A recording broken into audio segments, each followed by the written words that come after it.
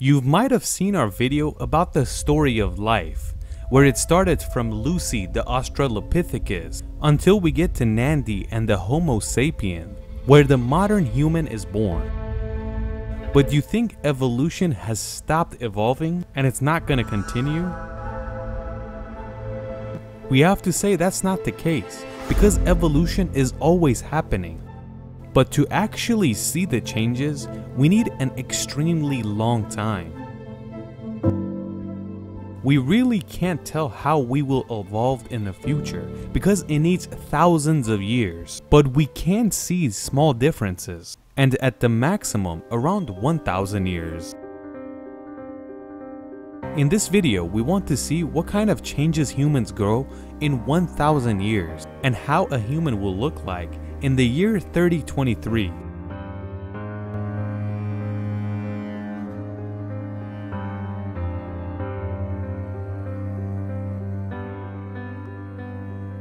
Since the day humans have figured themselves out, they always try to predict the future. One of the reasons ancient Egyptians mummified dead bodies was that they believed in the future and they wanted to send their dead into the future. A lot of them did make it to the future, but in a mummified form. Ancient Egyptians weren't the only people that wanted to figure out the future. A lot of civilizations were thinking about this and they were trying to figure it out as well. But the more advanced we get and the more we move forward, we have more interesting guesses on what will happen in the near future. Like in the 1950s, there was an interesting prediction in the US that humans by the year 2000 will work with a screen all day every day and they will do everything they need in that screen. Back then, people wouldn't believe that something like this will exist, but it really did happen. It didn't happen exactly in the year 2000, but it was very close. Another interesting prediction in the 1950s is that the cars in the 2000s will all fly. In the year 2023, we do have flying car, but it's not very common and it's extremely expensive to get something like this. So this prediction is completely wrong. We will get to it, but not this early. Everybody knows this movie. If you don't know, in the year 1985, an amazing movie came out called Back to the Future. This movie showed that in the year 2015, not only will we have flying cars, but we will have hoverboards as well. Unfortunately, this wasn't right either. Let's continue, these were just predictions. And we want to predict what will happen in 1000 years on Earth. Right now, there's a lot of people that want to go to other planets. And the most famous company that wants to do it is SpaceX. SpaceX has a plan to send 1 million humans on Mars by the year 2050 and we've made a video about this before. So if there's a prediction that we will have this many people on Mars by the year 2050, so in 1000 years, people will be living on Mars. As you know, Mars doesn't have a proper atmosphere, and scientists are always trying to figure out a way on how we can make an atmosphere. But the atmosphere to be built for this planet doesn't take 100, 200, or 1000 years. It needs much longer than that. But we can be hopeful that on Mars we can build cities that has glass dome everywhere. But what we're saying is the knowledge we have today because we don't know in 1000 years what will people figure out, what kind of technology they will invent and they might be able to create an atmosphere in a much shorter period of time.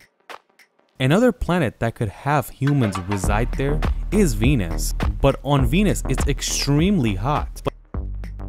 But scientists believe that you could live on the clouds of this planet. And it's funny because this was predicted by NASA themselves. So until the year 3023, it's 3-0 because humans will be living on three different planets. And when humans are in three different points in space, the chances of us going extinct is very low.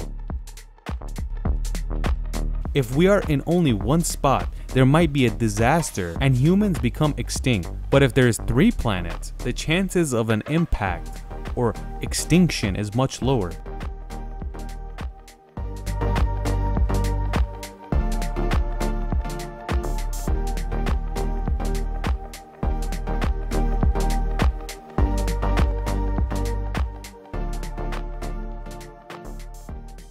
Right now we're living on a planet that we really don't take care of, even though it's the greatest planet that we've ever discovered in the world. If we don't make this planet any worse or try to make it a little bit better, we shouldn't have any problems for the next 1000 years.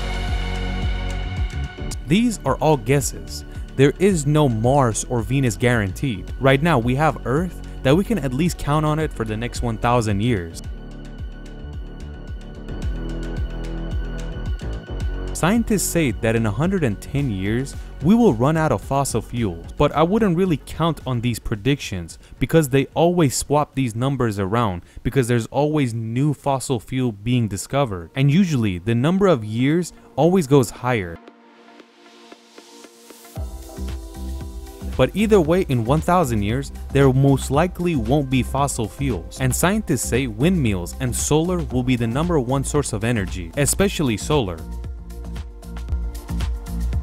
But this is not the case that there won't be pollution because of energy. Even solar panels, producing them, using them, and getting rid of them causes a lot of pollution. So we really can't say that we won't have pollution in 1000 years. The main reason is that people are greedy and they always want to profit from one another. And because of this greed, we really can't live in peace.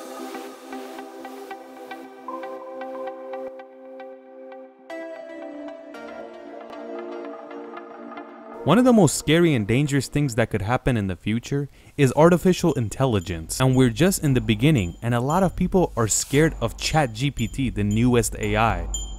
You guys already know ChatGPT. Any question you ask, it will give an answer. We're slowly moving towards scarier prediction for the future. Engineers believe that by the year 2050, computers will be much smarter than human, and anything you tell it, it will do it much faster and better than any human. In this case, humans will lose faith and they can't do anything about it anymore. That is why another prediction says there could be artificial intelligent chips put in other humans' brains. And basically, we're not really humans anymore after this. We're half computer and half alive. Something good that will happen is that it will help disabled people, like people that suffer from blindness, people that are deaf, or folks that are paralyzed. But we're just getting to the scarier part. When people are mixed with computers, and there are evil people all over the world, and these people can hack people's brains. In this case, it gets very dangerous and scary.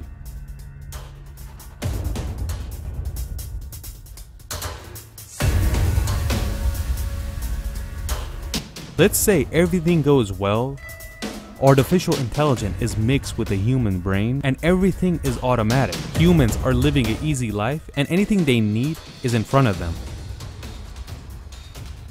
But this is when evolution takes a huge hit. These people's brain won't go towards getting better, and they might slowly get dumber and dumber because all the work is being done by the AI, and the human doesn't have to try anymore or try to think. This causes the human to become slower and dumber, and this is when we can say the power is in the AI's hands now. All the things we told you is possible in the next 1000 years, but we don't know how it's possible.